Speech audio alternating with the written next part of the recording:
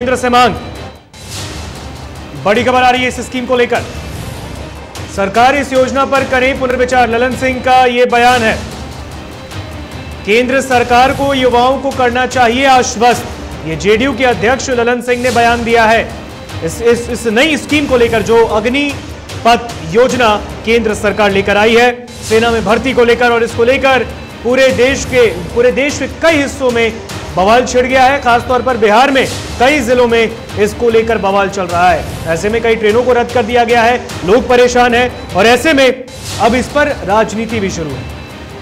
केंद्र से ये मांग की है जेडीयू अध्यक्ष ललन सिंह ने। सुनिए इस बयान केंद्र सरकार द्वारा अग्निपथ योजना लागू करने की घोषणा के साथ बिहार सहित देश के अन्य राज्यों के छात्रों और नौजवानों में असंतोष का भाव उभरा है। जगह जगह हिंसक घटनाएँ हो रही हैं। केंद्र सरकार को अविलंब इस पर संज्ञान लेना चाहिए और इसके साथ साथ इस पर पुनर्विचार करना चाहिए अथवा अगर यह संभव नहीं हो तो छात्रों और नौजवानों को आश्वस्त करना चाहिए कि इसके बावजूद उनके भविष्य पर इसका कोई प्रतिकूल असर नहीं होगा। चलिए, एक और बड़ी खबर सामने आ रही है। अग्निपथ योजना को लेकर बिहार में बवाल जारी है। आपको बता दें अग्निपथ योजना को लेकर हो रहे बवाल के बीच एडीजी लॉ एंड ऑर्डर का बयान। उपद्रवियों के खिलाफ की जा रही है कार्रवाई। बड़ी खबर आपको बता रहे हैं। अब तक दो दर्जन से अधिक प्रदर्शनकारियों पर एफआईआर दर्ज किया जा चुका है। बड़ी खबर, सैकड़ों उपद्रवियों की पहचान कर हुई है। गिरफ्तारी संजय सिंह का बयान है।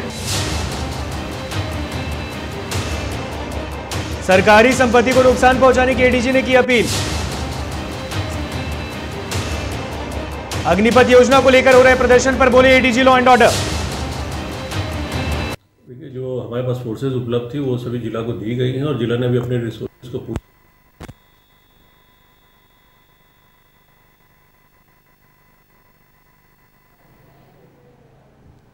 चलिए और अग्निपथ योजना को लेकर बिहार में बवाल जारी है। इस बीच आक्रोशित छात्रों के समर्थन में महागठबंधन अब उतर गया है।